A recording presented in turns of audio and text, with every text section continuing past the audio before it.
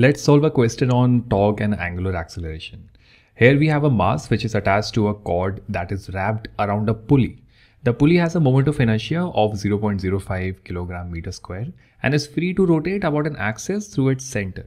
Now at time t equals to 0, the mass is released and allowed to fall rotating the pulley and the resulting torque on the pulley is 1.40 newton meters.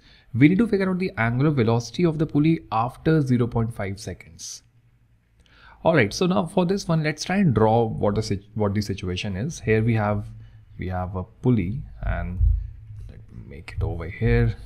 Here we have the pulley, and we also have a mass. So let's make that as well.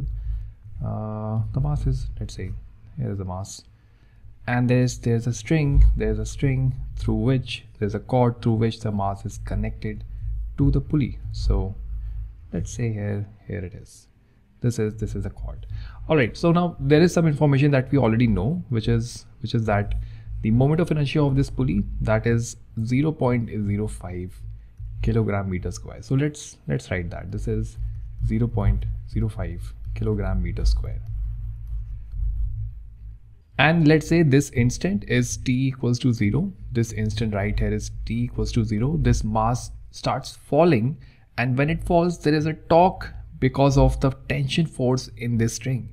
There's a torque which is 0. Point, sorry, not 0. Point, this is 1.40 Newton meters. As a result of this torque, this pulley starts rotating. This pulley starts rotating and and we can say that it starts rotating with an angular acceleration of alpha because there is a torque so there will be an angular acceleration using the rotational version of newton's second law we can write we can write tau this is equal to i alpha. This is the rotational version of Newton's second law, right? So we know torque and here we know the moment of inertia. We can figure out the angular acceleration. And once we figure out the angular acceleration, we can go to one rotational kinematic equation and then use one to figure out the final angular velocity, the final angular velocity. Initial angular velocity is already zero and we already know the time. So if we figure out alpha, our job is done.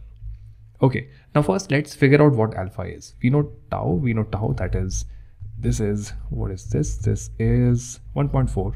So 1.4 equals 0.05 into alpha. So alpha, this is 1.4 divided by 0.05. This is 28, 28 radians per second square. Now we know alpha, we know omega i, and we know time. So we are not interested in figuring out the angular displacement. So the right kinematic equation, the right rotational kinematic equation can be this one. The final angular velocity, which is equal to the initial angular velocity plus alpha into t. So initial angular velocity is 0 and alpha is 28 and t is 0.5. So omega f, this comes out to be equal to 28 into 0.5, which is 14 radians per second. So this right here, this is 14 radians per second. Now you can try more questions like this from the exercise in the lesson. And if you're watching on YouTube, do check out the exercise link which is added in the description.